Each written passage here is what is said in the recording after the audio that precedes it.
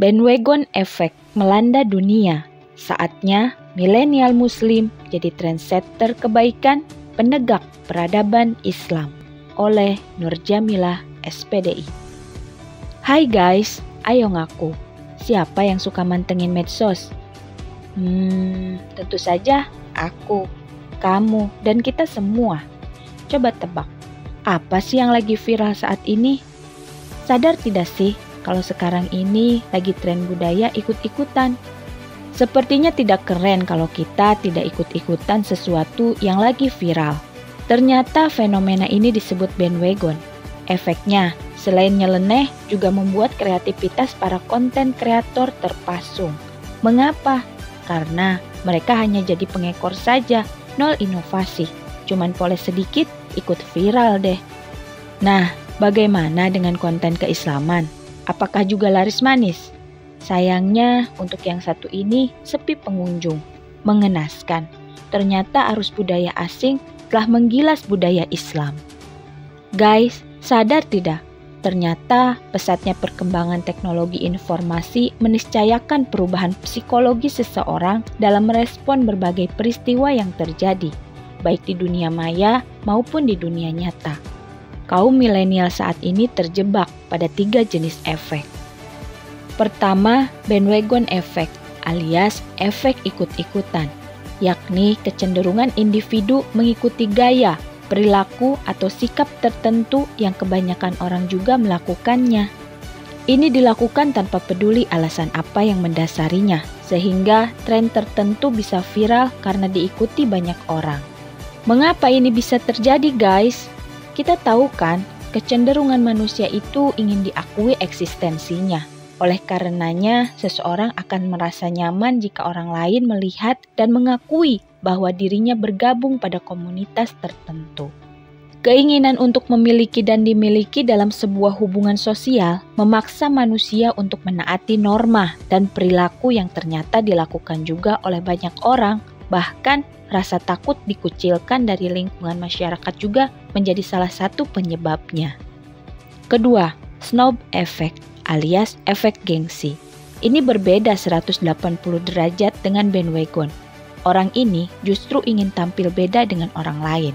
Mereka membeli dan menggunakan sesuatu yang orang lain tidak memakainya. Hal itu dilakukan agar dia nampak mencolok dan menjadi pusat perhatian. Narsis banget kan? Ketiga, Veblen Effect alias efek pamer. Orang dengan efek ini berani merogoh kocek dalam-dalam demi membeli barang yang memiliki nilai ekonomi tinggi serta mampu menaikkan status sosialnya di mata masyarakat. Tujuan utamanya untuk pamer. Bagaimana? Sudah paham kan perbedaan ketiganya, guys? Apakah istilah-istilah itu sudah familiar di telinga kita?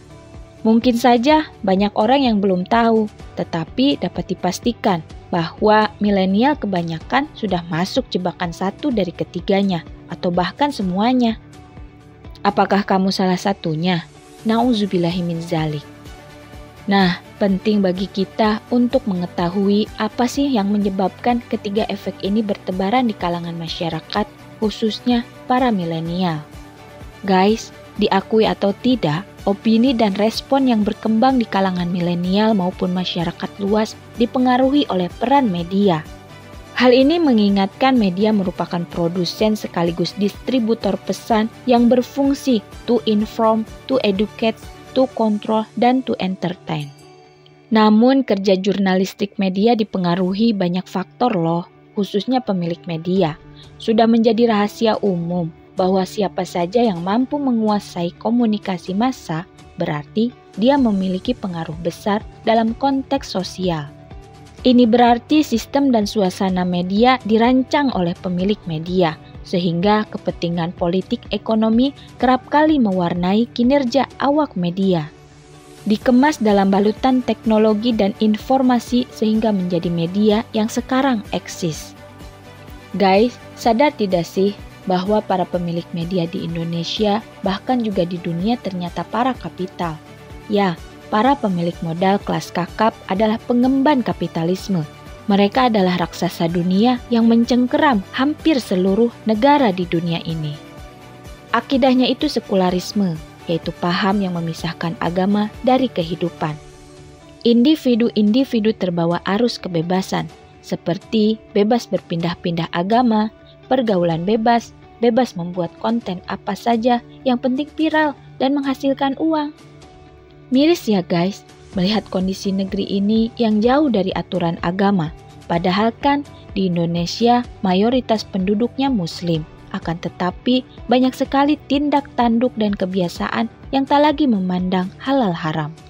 Lantas, bagaimana dong peranan kita sebagai milenial muslim dalam merespon semua ini?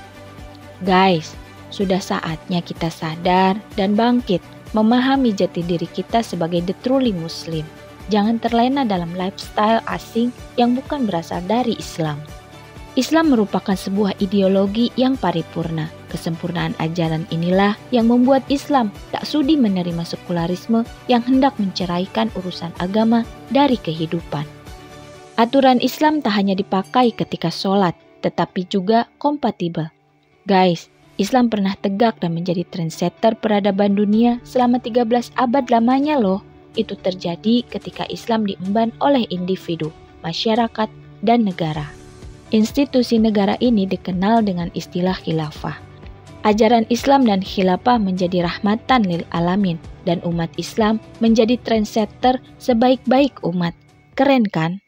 Sebagaimana firman Allah Subhanahu wa taala, "Kalian adalah umat terbaik yang dilahirkan untuk manusia, menyuruh kepada yang ma'ruf dan mencegah dari yang mungkar dan beriman kepada Allah."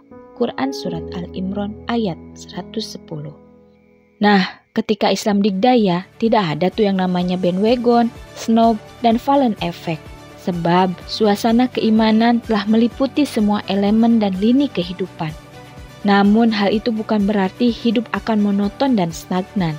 Justru hidup lebih dinamis, kreatif, dan penuh inovasi karena hilafah memberikan ruang seluas-luasnya bahkan memfasilitasi warga negaranya untuk berkarya dan berkontribusi untuk kemajuan negara. Orang boleh kaya, tetapi dengan cara yang halal dan tidak pamer. Orang boleh populer dan viral, tetapi dengan kebaikan dan karya-karya terbaiknya. Ingat, semuanya on the track ya, sebab kalau ngeyel dan bandel, Algojo negara siap bertindak loh. Ayo jujur, enakan mana? hidup di bawah sistem kapitalisme atau sistem Islam, milenial cerdas pasti pilih Islam. Sudah saatnya milenial muslim sadar, move on, dan ikut memperjuangkan tegaknya Islam dalam naungan khilafah. Inilah masa di mana kaum muda bebas berkarya tanpa kehilangan jati dirinya sebagai seorang muslim. Ayo, wahai milenial muslim, jadilah trendsetter kebaikan penegak peradaban Islam. Allahu Akbar.